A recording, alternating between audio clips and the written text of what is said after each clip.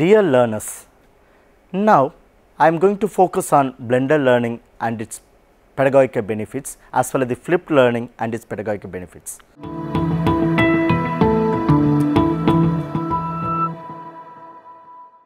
The blended learning is also known as hybrid learning is a method of teaching that integrates technology and digital media with traditional instructor led classroom activities giving students more flexibility to customize their learning experiences. Blended learning is the combination of offline it means face to face as well as the traditional learning and online learning in a way that the one complements the other. It provides individual with the opportunity to enjoy the best of both worlds. For example, a student might attend classes in the real world classroom settings and then supplement the lesson plan by completing online multimedia coursework. As such, the students would only have the physically attended class once a week and would be free to go at their own pace and without worrying about scheduling issues. Blended learning can increase access and flexibility for learners, increase level of activity learning and achieve better students experiences and outcomes. For teaching staff, blended learning can improve teaching and class management practices. A blend might include face to face and online learning activities and formats, traditional timetable classes with different modes such as weekend, intensive and external, well established technologies such as lecture, capture and or with social media and emerging technology. The final one simulations, group activity, site based learning and practical.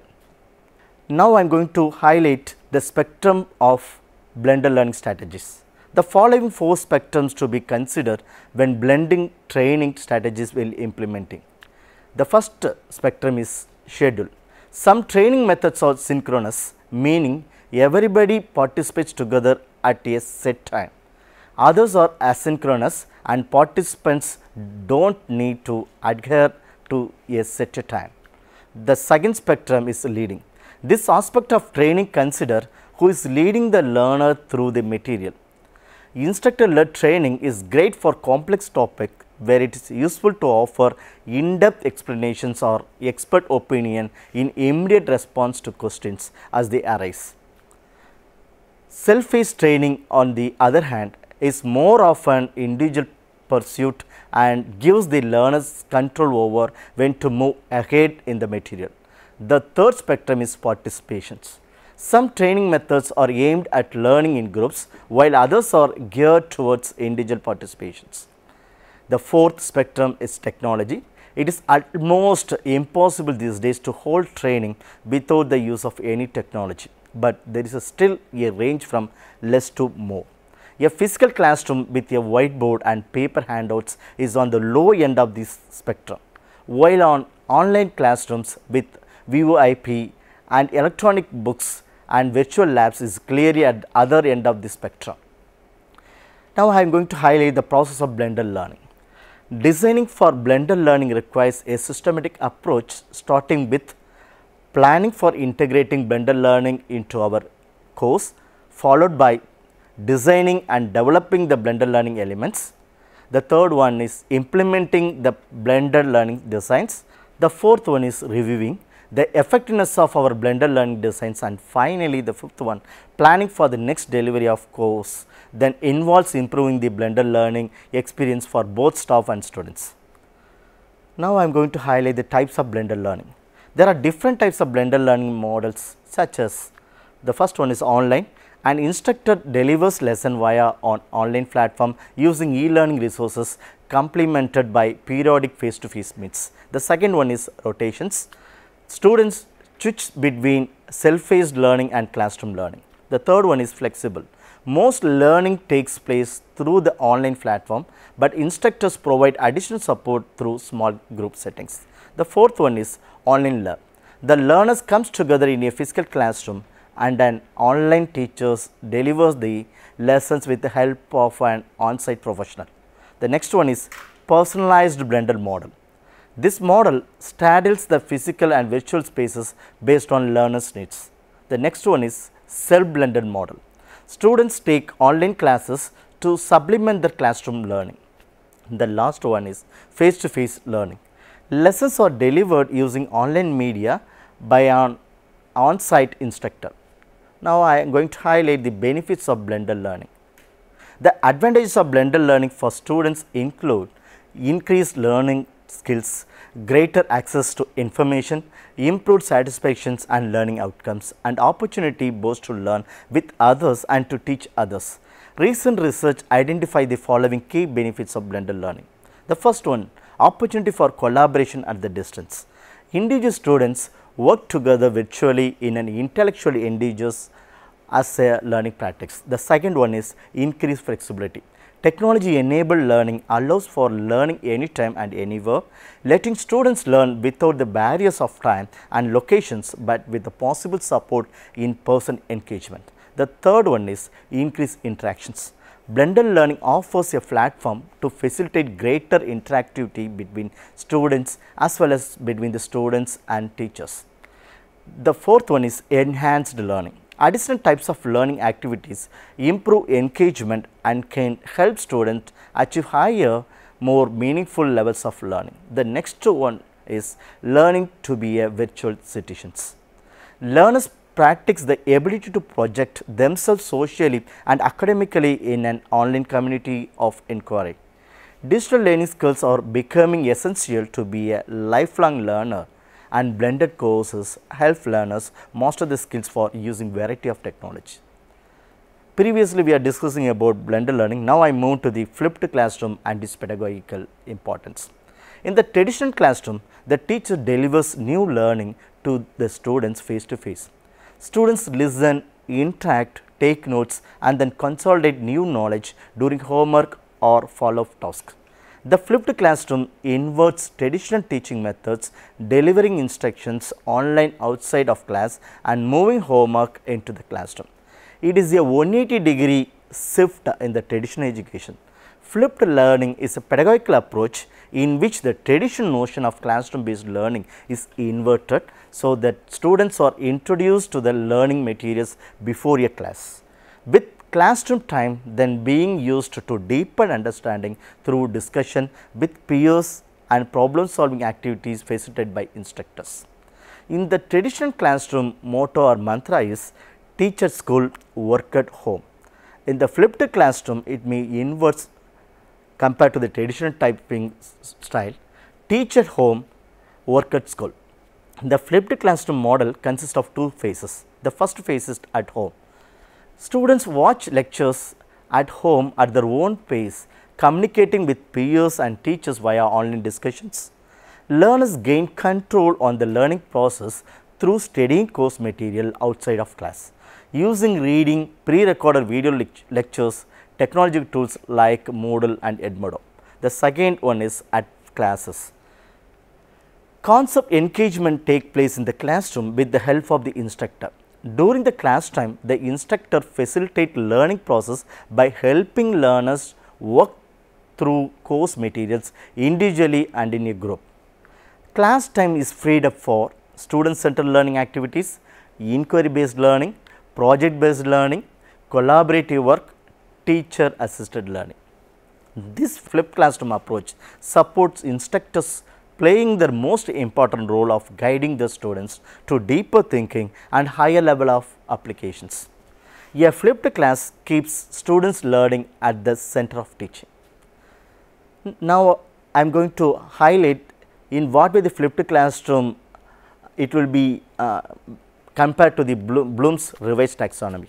In terms of Bloom's revised taxonomy in 2001, students are doing the lower level of cognitive work, gaining knowledge and comprehension outside of class and focusing on the higher forms of cognitive work like application, analysis, synthesis and or evaluation in class where they have the support of their peers and instructors. This model contracts from the traditional model in which the first exposure occurs via lectures in class with students assimilating knowledge through homework thus the term flipped classroom. Now, I am going to highlight the history of flipped classroom as well as flipped teaching. Flipped teaching was started by two chemistry teachers Jonathan Bergmann and Aaron Sams at Woodland Park High Schools in Colorado, USA. In order to cover the studies that missed the class lectures, they recorded the lectures and posted them online. The students who otherwise would have missed the classes benefited from it. Moreover, Aaron Sams found out there are software available which could record PowerPoint presentation along with sound. This is when Sams and Bergmann saw some opportunity of recording the lecture missed by students. In the beginning, they did it to reduce the burden of their work. However, this not only reduced the work, but also helped students who missed the lectures. Also, many of the teachers and students benefited from the videos. The students all over the world started watching the videos and asking questions to them. This is when they started going to different portals and places on explaining about flipped classroom. This led to the popularity of inverted classroom. I am going to highlight the elements of the flipped classroom. The flip following are the elements of the flipped classrooms. The first one is pre-class activities. It provide an opportunity for students to gain first exposure prior to class. The mechanism used for first exposure can vary from simple textbook reading to lecture videos to broadcast or screencasts. These videos can be created by the instructor or found online from YouTube, the Khan Academy, MIT Open Courseware, Coursera and other similar sources. The second one is provide incentives. Providing incentives for students to prepare for class. The assignment task can vary ranged from online quizzes to worksheet to short writing assignments, but in each case the task provided an incentive for students to come to class prepared by speaking the common language. The third one is assessment mechanism. Provide a mechanism to access the students understanding. The pre-class assignments that students complete as evidence of the preparation can also help both the instructor and the student assess understanding.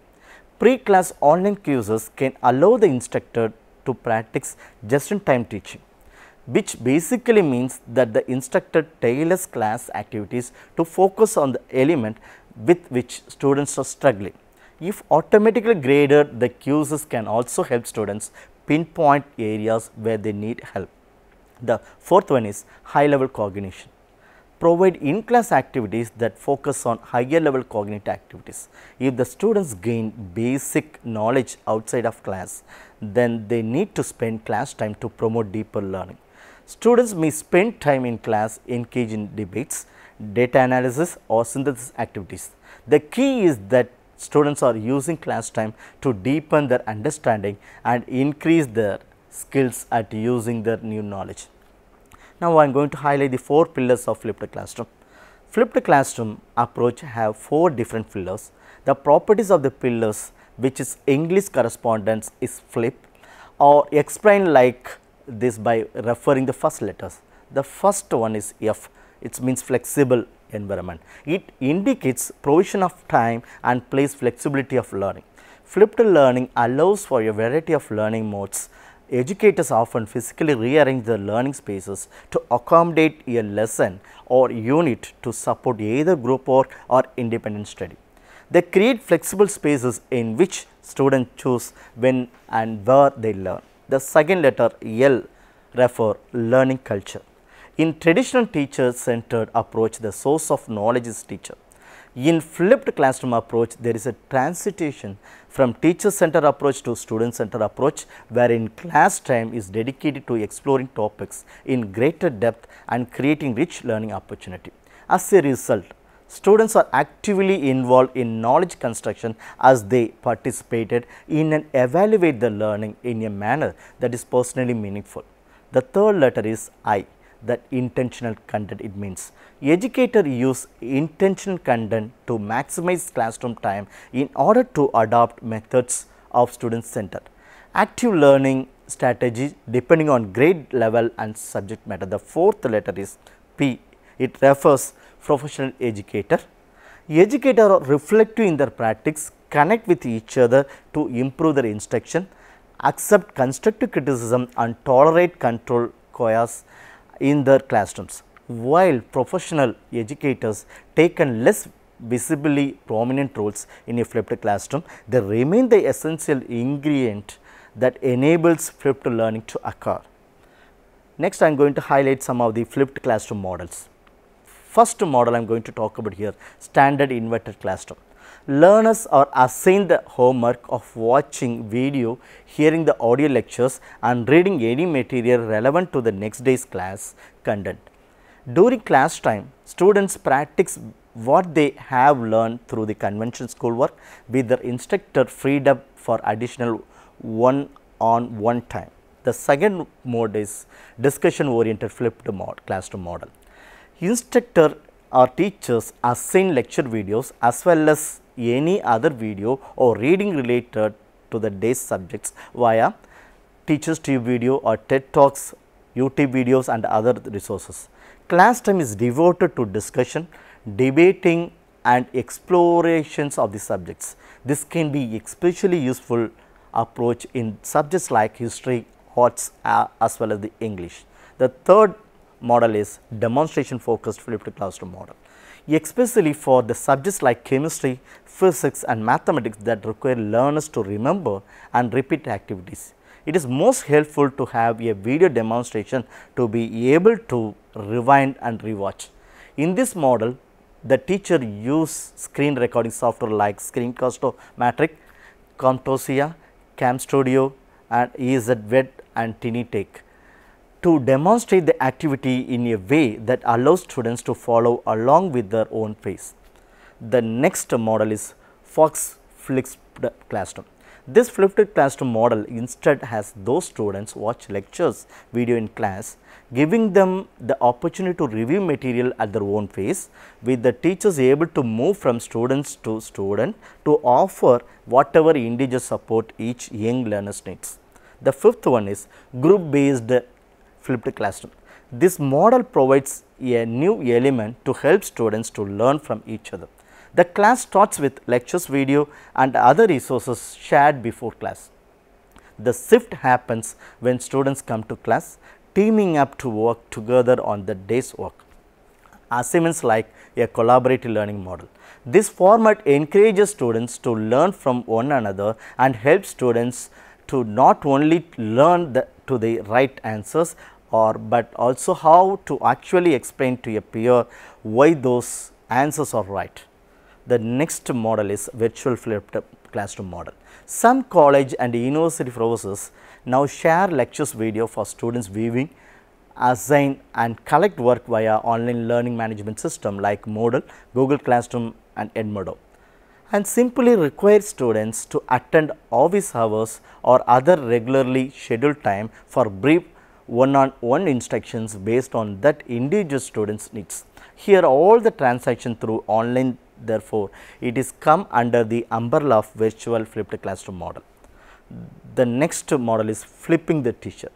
All the videos created for the flipped classroom does not have to begin and end with the teacher. Students can make use of video to better demonstrate proficiency. Assign students to to their record practice role play activities to show competency or ask each of to film themselves presenting a new subjects or skill as a means to teach the teacher. Now, I am going to highlight the tools of the flipped classroom. These tools may be useful for developing a flipped classroom. Technology is a primary tool of the flipped classroom. Students need to access to technology to be able to watch videos at home. Equally important is educator access to and comfort with the technology necessary to film edit and upload the videos. There are a variety of different video recording devices that teachers may use. For educators who already use a PowerPoint or smart boards in their classroom, the use of screencasting software that records screen movement and allow for narrations to the to be recorded may be the most convenient way to create lecture videos. Without the technological integration, we could not implement the flipped classroom. Technology is one of the key components of the flipped approaches. The following are some of the technological tools are used for the implementations of the flipped classroom strategy. The first tool I am going to talk about here video creation tools. There are several video creation tools are available online Uh, for free while some of them should be purchased. Most of these video creating tools are device specific. Some of the popular tools are Screencast-O-Matic, Camtasia PC, TechSmith Relay, Office Mix and Adobe Presenter. The next tool I am going to focus here video hosting tools. After forming the video, it should be placed online for access for students. There are several sites to store video online. YouTube is considered to be a most popular one to host videos. It is widely used around the world by teachers, students and other professionals. Some of the video sites are YouTube Vinos, TeacherTube, Screencast.com, Acclaim, then Google Drive. The third tool I am going to discuss here video interaction tools. Some of the tools that provide teachers to access some information such as which students watched which lectures video, how long he watched, how he answered the questions in the video. Some of the popula population video interaction tools are listed below. Educanon, Edpuzzle, Zaptions, Office Mix and Verso as well as the TechSmith Relay, Adobe Presenter, then Google Apps for Education. The next tool I am going to talk about the learning management tools. As created video can be sent to video hosting sites, they can be presented to access by using learning management system. LMS are not only broadcast videos, also provide interaction with students. Some of the most populations tools are given below Moodle, Sakai, Blackboard, Verso app, Schoology, Canvas, My Big Campus, Haiku Learning, then finally Google Classroom. Now, I am going to highlight some of the potential benefits of flipped classroom and its strategies. The value of flipped classroom is in the repurposing of class time into workshop where the students can inquire about lecture content, test their skills in applying knowledge and interact with one another in hands-on activities. During class sessions, instruction functions as coaches or advisors, encouraging students in individual inquiry and collaborative effort.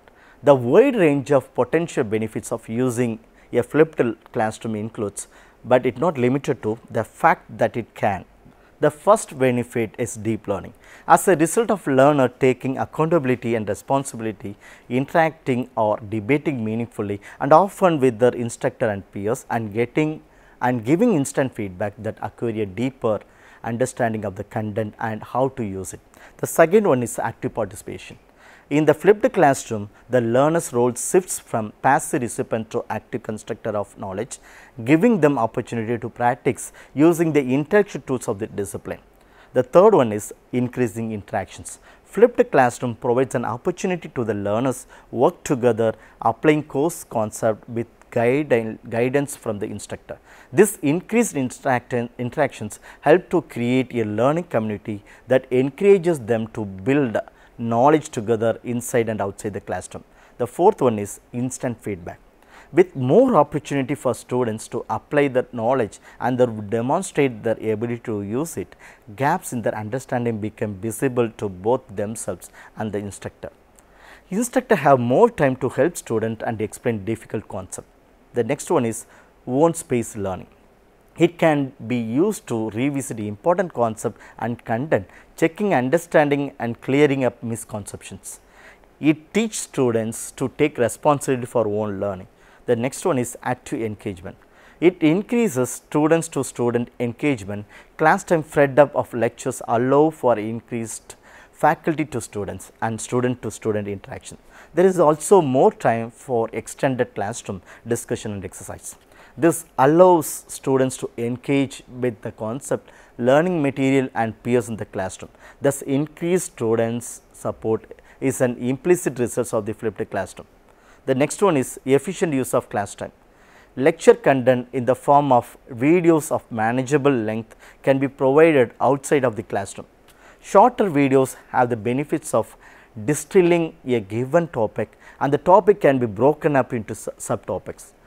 As this happens, traditional passive learning takes place outside of the classroom and class time can be freed up to increase meaningful engagement with the students. Faculty members have more time to interact with students clarity learning points and additional learning objectives can be incorporated as can active learning. Now, I am going to highlight the challenges of flipped classroom. Challenges that can arise when using flipped classroom include increased workload for the instructor, time, expertise and effort are needed to create source videos. Time and effort is required to rethink and prepare both pre-class and in-class activities. However, activities can often be reused without too much effort the next time the class is offered. It requires careful preparations and the right mix of out of class and in class elements. The second one is lack of technology and internet. Technology and internet are the major components of flipped classes. There are so many places and schools which do not have access the computers and the internet. If they are not available for students, the whole idea of flipping the classroom will be ineffective. Equipments and access for students to view video lectures may be an issue. The next one is not for all subject and content. It is not appropriate for some types of content as well as some subjects. The next one is students not being prepared. Students may not be prepared because students may not immediately understand the values of this model. Hopefully, the instructor have taken the requisite steps to ensure that students are prepared for class, but if students do come to class unprepared, do not read lectures, move forward anyway. Once students see that you are serious about supporting activity learning in the classroom, they will likely to be better prepared the next time. The next one is not all active learning strategy for feasible in large classes. The activity that can be feasibly facilitated in a really large class are fewer than those in the small classes, but there are still many ways to engage students in applying concept and peer learning. A mixture of mini lectures and think, pair, share and or the use of clickers can be effective even in really large classes. The next challenge is classroom space. There may be problems with availability of class spaces that supports active and collaborative work. The next challenge is instructor might need to decrease the course content. With more student participation dialogue, instructor may find that they are not able to be cover as much material as they have in that past. So, rethinking the learning outcomes of the course may necessary. The concept that are learned are likely to be retained for a longer and applied more effective with the active learning components. The next challenge is online distractions. Students require internet to watch videos online because students spend time online, this may lead to regarding social media, YouTube videos and computer games as well as the online. Now, I am going to give some of the tips to implement flipped classroom effectively. Communicate the rationale behind the flipped classroom to the learners. The second one is provide incentives for learners to prepare for class. Then third one is provide a clear connection between in class and out of class activities. The fourth one is ensure that classroom activities are clearly defined and well structured in suit to the purpose. The fifth one allow sufficient time for learners to carry out their assignments. The sixth one provide facilitating facilitation and guidance that supports a learning community. The seventh tips is provide prompt and adaptive feedback on group and project work. The next tips is utilize the technology that are familiar and easy to access. Now, the I am going to give some of the roles of teachers in the flipped classroom approach. The most important factor in flipped classroom approach is the role of teacher. The role of flipped classroom educators are presented below. Creating learning condition based on questioning, instead of transferring knowledge directly being a guide to make learning easy, making one to one interaction with students, correcting misunderstanding, then individualizing learning for each students as well as the using technological equipment suitable for learning condition, creating interactive discussion conditions, increasing participation of students, then sharing lecture videos as out of class activities. Then finally, providing feedback by using pedagogical strategy. Now, I am going to highlight the role of students in the flipped classroom approach. In flipped classroom approach, student transform from passive receiver of knowledge to active promoter of knowledge. In this approach, the roles of students are expressed below. The first role is taking their own learning responsibility. The second one is watching lecture video as before the course and preparing for the course by using learning materials. The third one is learning at his own learning speed. The fourth one is making necessary interaction with his teachers and friends, taking and giving feedback. The fifth tips is participation, discussion within the class, the finally participating teamwork. Now, I am going to summarize my presentation. The flipped classroom is a blended learning model in which traditional ideas about classroom activities and homework are reversed or flipped. In this model, instructor have students interact with new material for homework first. Then they use class times to discuss the new information and put those ideas into practice. The flipped classroom can address the needs of struggling students by allowing teachers to personalize the students' educations. Flipped learning transfers the ownership of the learning to the students. Flipped learning personalized learning for all students. Flipped learning gives teachers time to explore deeper learning opportunity and pedagogies with the students. As well as the flipped learning makes learning the center of the classroom. Then flipped learning maximize the face to face time in the classroom. I hope you may get some of the conceptual understanding about the blended learning as well as the flipped classroom and its pedagogical strategies. Hope soon I will meet you in the next section. Thank you learners. Bye.